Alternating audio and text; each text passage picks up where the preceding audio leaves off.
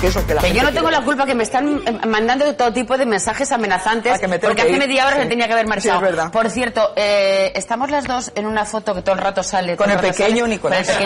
Y con dos personas de color. Y dos a los que, quitan. ¿Qué racismo es ese? ¿Por qué no nos ponen con las personas de color? usted, de color y no negras? Pues porque es políticamente incorrecto. Eh, pero usted, usted es algo muy distinto de lo que parece. Dice usted Esperanza Aguirre diciendo personas de color.